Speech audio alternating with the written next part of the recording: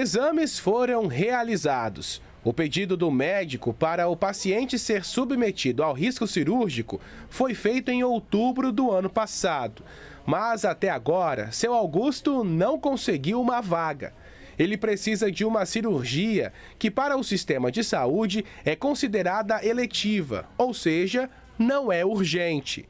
Sente dor, quando você trabalha abaixado, sente dor. A pior coisa é a pessoa ficar sofrendo um o dia todo e você não tem como correr. O atendimento começou há dois anos e quanto mais o tempo passa, maior a aflição.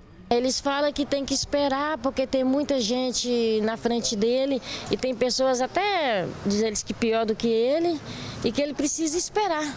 Os atendimentos considerados de baixa e média complexidade são de responsabilidade do município e os de alta complexidade, como cirurgias, do Estado e governo federal.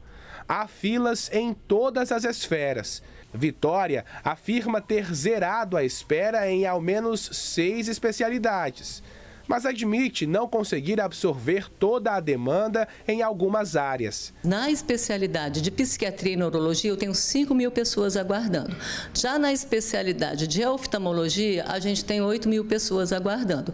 Né? Então, assim, a gente está fazendo esse, esse, grande, né, esse grande investimento na saúde de Vitória para que a gente possa trazer mais qualidade de vida às pessoas e também diminuir a gravidade dos seus casos. Atualmente, mais de 17 mil pessoas aguardam por um procedimento eletivo na rede pública de saúde apenas no Espírito Santo.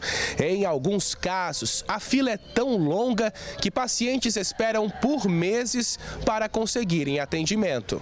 Um programa lançado pelo Ministério da Saúde prevê investimentos para que as filas e o tempo de espera sejam reduzidos.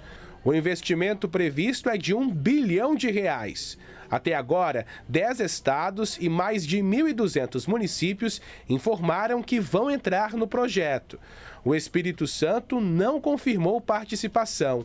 Vitória também não, mas analisa a possibilidade. Mas o que a gente tem que analisar agora, quais as ofertas que o governo federal vai estar fazendo para ver se a gente tem necessidade de aderir, né? E aquilo que a gente não tiver, com certeza a gente vai aderir. Sobre o caso do seu Augusto, a Secretaria da Saúde informou que um dos exames necessários para fazer a cirurgia foi marcado para 5 de julho.